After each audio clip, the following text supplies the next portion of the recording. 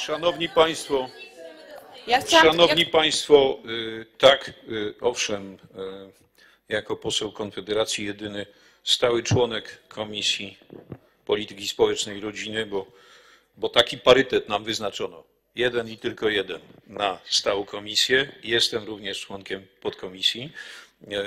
Bardzo mnie martwi ta sprawa, a cieszy perspektywa, że będę mógł mieć bezpośrednią styczność z procedowaniem, mam nadzieję, e, dla, dla czynienia zadość sprawiedliwości Rzeczypospolitej, ale chciałbym zastrzec, że do tej pory żaden z postawionych przeze mnie wniosków na forum tej komisji, jak zresztą wszystkich innych, e, nie został podjęty przez, przez. Tak, więc może się otworzy się jakaś nowa praktyka w tej dziedzinie, także i dla mnie, że jakiś wniosek, który zgłoszę, wreszcie przejdzie. A tu chciałbym, chciałbym y, skonkludować, tak, w ślad za panem marszałkiem Tyszką, y, y, że to jest, to jest jednak, to jest jednak, szanowni państwo, horror legislacyjny, ponieważ, ponieważ państwo dzisiaj, nie udzielając odpowiedzi na tak skonkretyzowane pytanie, bardzo wyraźnie zaznaczyliście swoje stanowisko i swoją rolę jako interpretatorów prawa w Rzeczypospolitej, co jest prawnie wykluczone.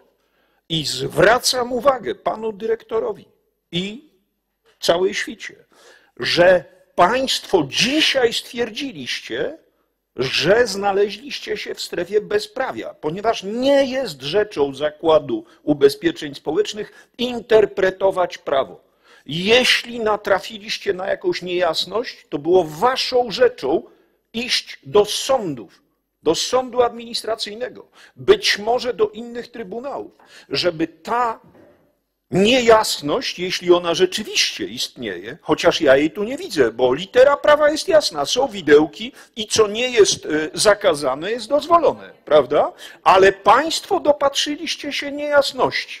Więc Bóg z wami. Skoro widzicie niejasność, żadnym prawem, poza prawem kaduka, nie wolno wam samemu przyjmować roli sądu kapturowego, samozwańczego, nie wolno wam interpretować prawa. Waszym obowiązkiem jest iść do sądu, żeby zażegnał ten moment niejasności w polskim prawie. I sąd mógłby wówczas wezwać Sejm Rzeczypospolitej Polskiej, czy też e, odpowiedniego ministra, żeby w trybie ustawy czy zarządzenia e, zniwelował niejasność. Ale państwo dziś, i to jest ważny moment, mam nadzieję w historii legislacji i wykonywania prawa w Polsce, państwo to jasno zadeklarowaliście, że czujecie się w prawie interpretować. Pan nam tu wyjeżdża, przepraszam panie dyrektorze, z orzeczeniami Sądu Najwyższego?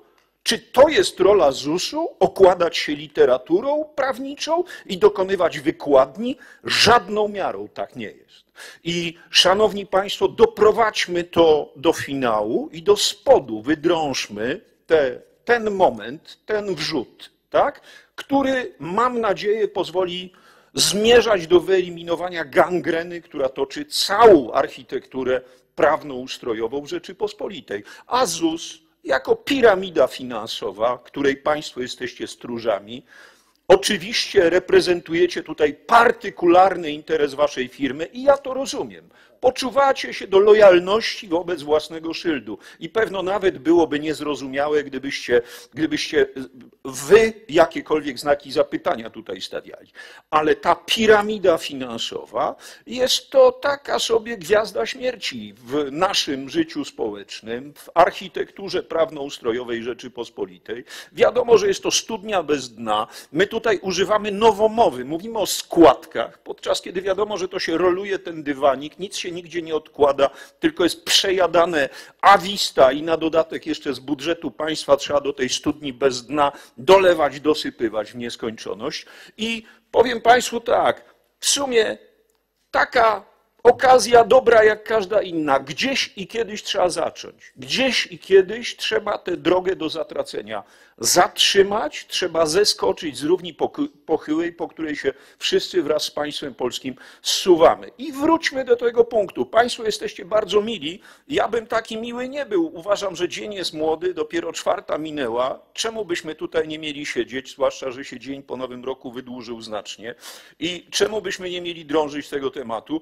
Ale skoro tutaj koledzy, koleżanki posłowie tak sympatyczni, to dajmy sobie na to tydzień, ale nie dłużej. I niech będzie odpowiedź na to pytanie. E, I zdziwię się, jeśli Państwo przyjdziecie na następne spotkanie z jakąś Waszą interpretacją, zamiast się zgodnie z prawem cofnąć, wydać natychmiast natychmiast dyspozycję wszystkim waszym oddziałom, żeby się powstrzymały od interpretowania prawa i żeby wykonywały prawo, to znaczy działały zgodnie z przepisami. Skoro nie ma w literze przepisów niczego, co by te przedsiębiorcze niewiasty, które są przecież kwiatem narodu polskiego, bo nie dość, że zapewniają temu narodowi kontynuację prowadząc działalność gospodarczą, to jeszcze zapewniają kontynuację y, działając przeciwko katastrofie katastrofalnym wskaźnikom demograficznej samozagłady narodu polskiego, prawda? I to jest dwa w jednym, wash and go, super sprawa, prawda?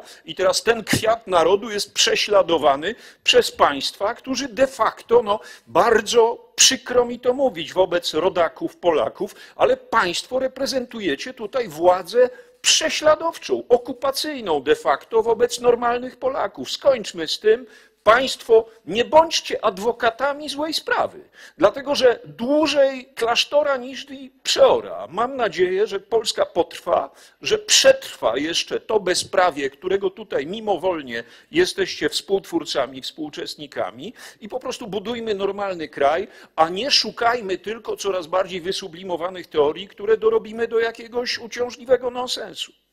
Dziękuję za uwagę. Ja przepraszam Dziękuję bardzo, pani. ale bardzo możliwe, że spotkanie za tydzień może mieć problemy lokalowe. Nie wiem, jeśli to się da przeskoczyć, to okej.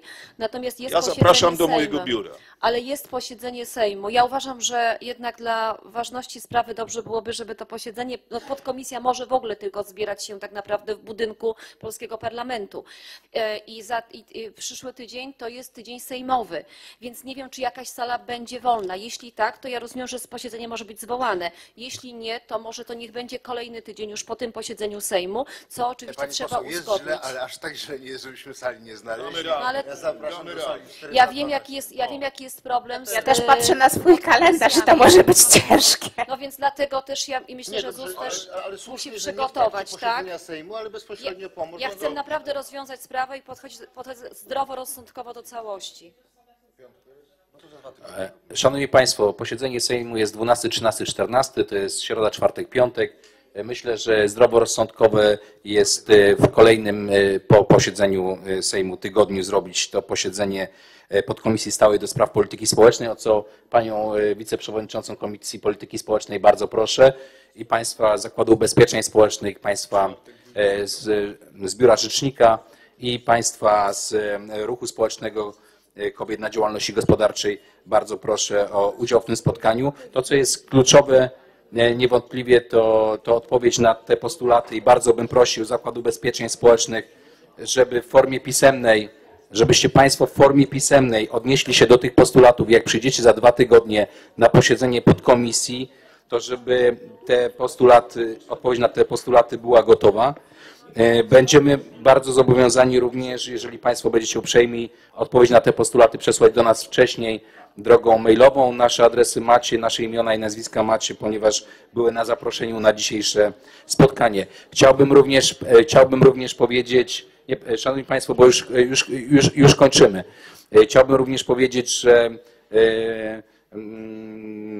prezentujemy różne kluby parlamentarne, różne poglądy. Ja osobiście cieszę się, że powołujecie się na e, uchwały Sądu Najwyższego i że e, w swoim postępowaniu kierujecie się e, literą prawa.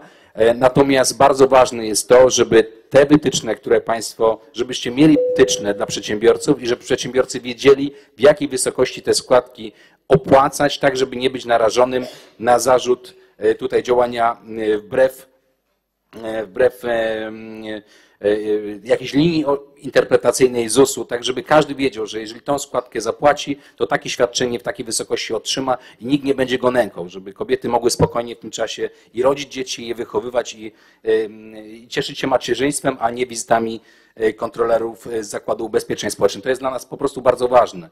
E, I szanowni państwo, e, e, jak mówię, 5 godzin, 5 godzin 10 minut to było za mało, żebyśmy wyczerpali wszystkie wątki.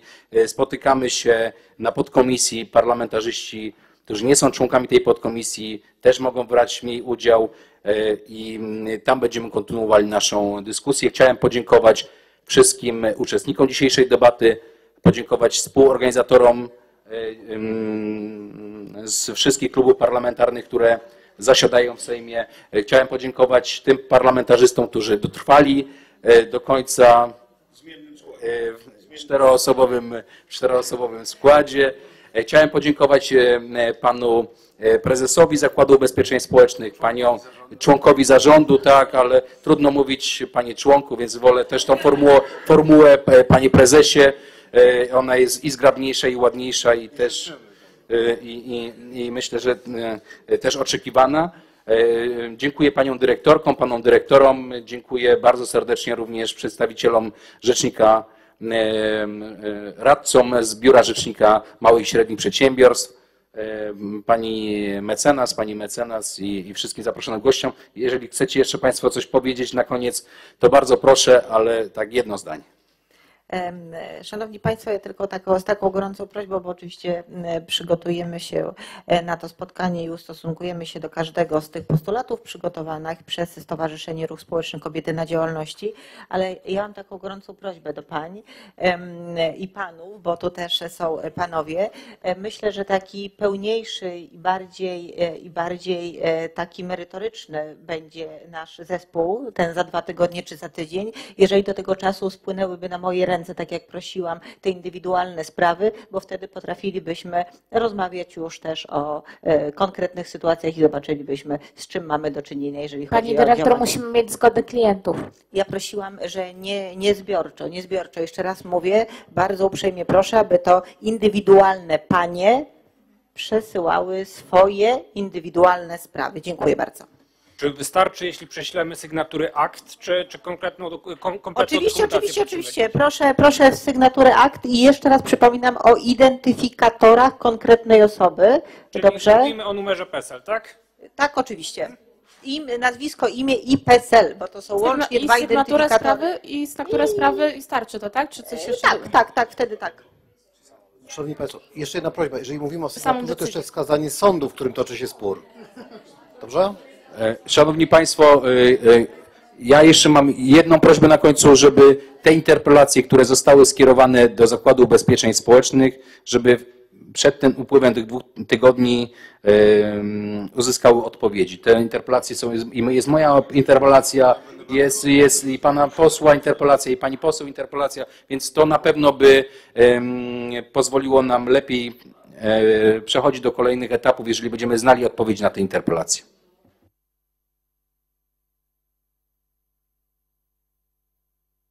A mianowicie chodzi o to, żeby już na tym etapie wszystkie oddziały ZUS dostały informację, że pisma, które tyczą się naszych składek, postępowań jakichkolwiek, czy wyjaśnień, czy składania zaświadczeń z przedszkoli żłobek, żłobków, przychodziły listami poleconymi. Myślę, że to jest rzecz prosta, do której możemy, gdzie myślę, że w tym momencie możemy uzyskać zobowiązanie. Przewodniczący, panie Szanowni- przewodniczący, tak, ale jednak, jednak istotna kwestia. Skoro, skoro rozstajemy się dzisiaj z tą jasną konkluzją, że sprawa jest niewyjaśniona, no to ZUS powinien natychmiast ogłosić moratorium na działania w, tej, w tych sprawach.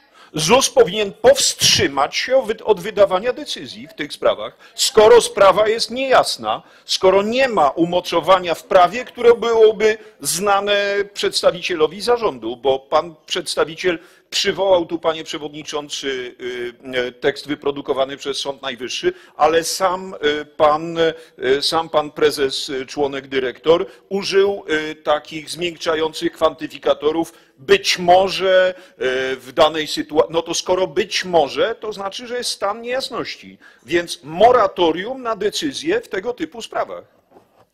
Ja zadaję pytanie. Czy czy, możemy, czy panie przewodniczący, o to uzyskać- prosić? Szanowni Państwo, e, prosimy o to, żeby wstrzymać się do naszego kolejnego spotkania z tymi negatywnymi de- decyzjami. Myślę, że to jest jak najbardziej uzasadniony postulat i, w ty, i e, Szanowni Państwo, e, e, ja widzę, że naprawdę tematów mamy całe mnóstwo, możemy tu siedzieć kolejne godziny, ale ja w tym momencie e, przerywam nasze spotkanie i kontynuowane będzie za dwa tygodnie na podkomisji Komisji e, Polityki Społecznej. Przepraszam, tylko Bardzo proszę. jedno zdanie, bo tutaj może pan, e, pan poseł nie miał e, informacji, natomiast sprawy, o których dyskutujemy, są sprawami na etapie sporów sądowych. Co do zasady. Nie, nie, są Znaczy, wydawane mówimy nadal. o sprawach indywidualnych tu państw zgromadzonych. Nie, ale są wydawane nadal decyzje negatywne w, w dużych... Cały czas jest taśmówka, tak? Taśma leci. Znaczy, szanowni państwo, chciałem Kopiuj w tylko- klej, kopiuj w chciałem klej, tylko- kopiuj w klej. Chciałem tylko wyjaśnić, że sprawy pań tutaj przedstawianych są sprawami na etapie najczęściej sporów sądowych na różnych poziomach instancji, pierwsza lub druga instancja. To chciałem tylko ustalić. E, Naszą intencją jest to, że mówi, e, e, chodzi o wstrzymanie spraw, które są wewnątrz Zakładu Ubezpieczeń Społecznych. Te, które są w postępowaniu sądowym, przecież nie zależą już od Zakładu Ubezpieczeń Społecznych, tylko od sądów. Także chodzi Chciałam tylko i powiedzieć, wyłącznie że można są zmienić decyzję nawet na etapie sądu. Ja tylko dodam, panie pośle, że jeżeli mówimy o wszczętych postępowaniach, bo pani tutaj mówiła, że toczą się przed ZUS-em, jeżeli wydaliśmy, dokonaliśmy już pierwszej czynności, a więc poszło o zawiadomienie o wszczęciu e, postępowania administracyjnego, to wiążą nas przepisy ustawy Kodeks Postępowania Administracyjnego i odnosząc się do e, zasad korespondencji z Zakładem Ubezpieczeń e, Społecznych, to chcę powiedzieć, że mamy artykuł 71a, ustawy o systemie ubezpieczeń społecznych, pisma i decyzje zakład może kierować listem zwykłym do swoich klientów. Dziękuję.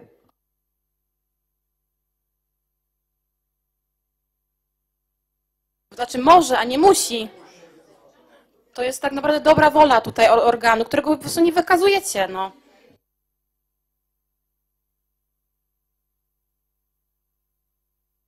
Znaczy, jeżeli chodzi o korespondencję, sprawa jest naprawdę ważna. Ja, szanowni państwo, takiej korespondencji bym po prostu, e, e, można byłoby ją uznać jako korespondencję, która nie dotarła do adresata, ponieważ nie macie potwierdzenia, że ten Dokła- adresat odebrał, tak zapoznał jest. się z tym. nie jest w stanie No. wykazać na przykład, bo przysyła decyzję sz- listami zwykłymi, szkoda nie jest w pieniędzy, stanie szkoda pieniędzy na to. Lepiej wysyłać listem na poleconym, wtedy wiadomo, że do Panie- adresata dotarło. Panie pośle, to też przewidziała ustawa. Ustęp 2. W razie sporu ciężar dowodu doręczenia pisma lub decyzji spoczywa na Zakładzie Ubezpieczeń Społecznych. Niech to pani powie jak osobie, która ma zajęte potem konto albo, albo już e, na przykład hipotekę ma zajętą. To ona musi i potem udowadniać, że nie otrzymała tego. A takie są sytuacje, dochodzi do takich sytuacji. Szanowni Państwo, spotykamy się za dwa tygodnie. Bardzo serdecznie dziękuję wszystkim, którzy dotrwali do końca, w szczególności paniom, które przyjechały dzisiaj do Warszawy z całej Polski.